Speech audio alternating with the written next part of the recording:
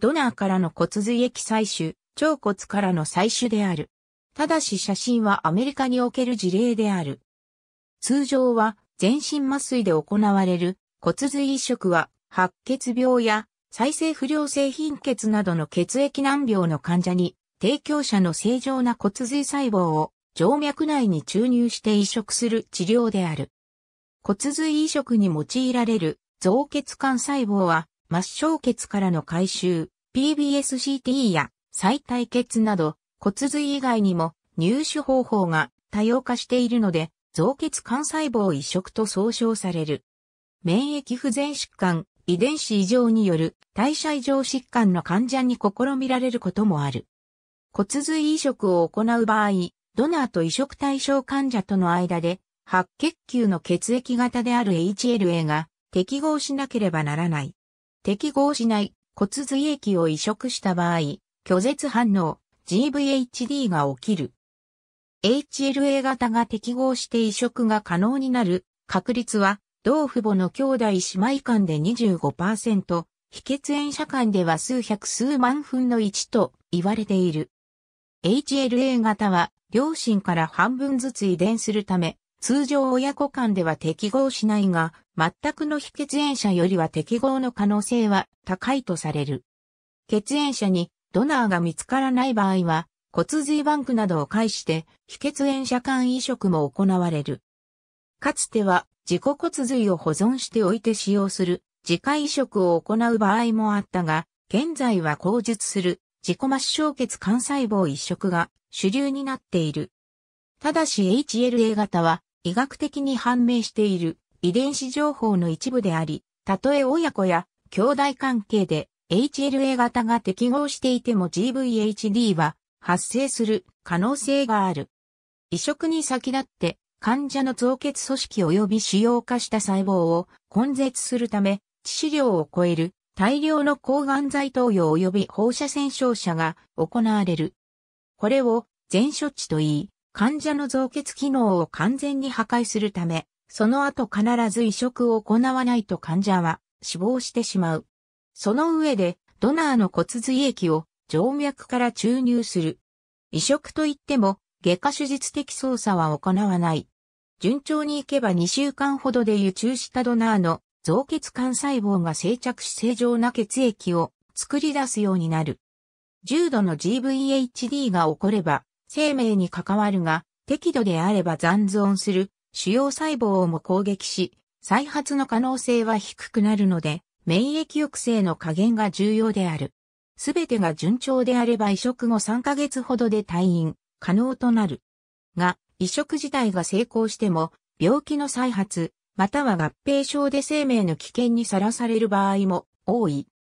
また、現在では、患者の造血機能を完全に破壊しなくてもドナーの造血管細胞が拒絶されないだけの免疫抑制をかければ移植された造血管細胞は定着することが分かってきたので、いわゆるミニ移植も行われるようになり、従来移植適用ではなかった患者にも移植が行われるようになってきている。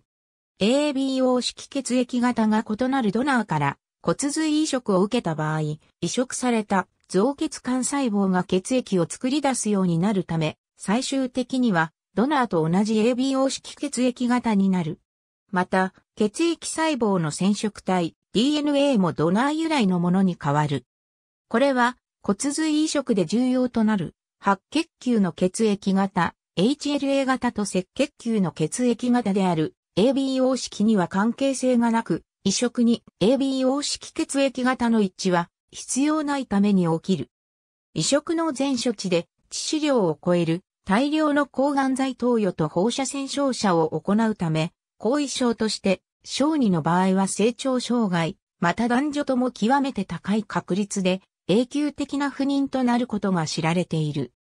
かつては不治の病とされた血液難病の患者も造血管細胞移植により治癒するケースが多くなった。現在では、ただ生命を救うだけでなく、その後の QOL も重視すべきだと考えられるようになっている。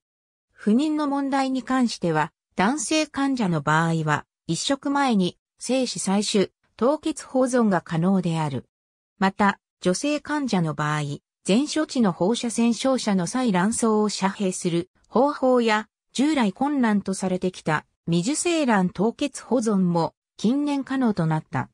患者の生きる希望をつなぐためにも何らかの形で生殖能力を残すことの重要性が訴えられている。しかし、現実にはその猶予もなく治療を優先せざるを得ないケースも多い。また、移植後に発症する GVHD も生命及び QOL に影響する。GVHD に対する治療は必ずしも有効でなく、障害として持続もしくは増悪するケースも見られる。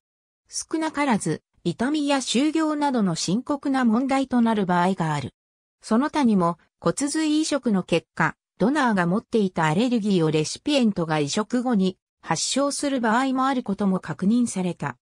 通常、末梢血には造血幹細胞はほとんど含まれていないが、造血因子を投与すると移植に行うのに十分な幹細胞を確保できる。一部の急性白血病の場合、この方法により末梢血から自らの白血病細胞に侵されていない正常な造血幹細胞を採取、保存し、自家移植が可能な場合もある。健常人ドナーの年齢基準は、血縁ドナーの場合18から60歳、非血縁の場合20から55歳。ドナーから末梢血管細胞を動員する場合、下流球コロニー刺激因子を投与する。この際、骨痛が起きることもある。アフェレーシスによる採取血液量は150から 250ml、キログラムであり、工業古材によるクエン酸中毒に注意する。採取細胞の目標数は通常 26kg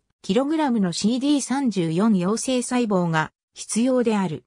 ドナーに造血因子を投与することにより、従来の全身麻酔による骨髄採取ではなく、通常の成分献血と同様の方法で造血幹細胞を採取、移植も可能となっている。ありがとうございます。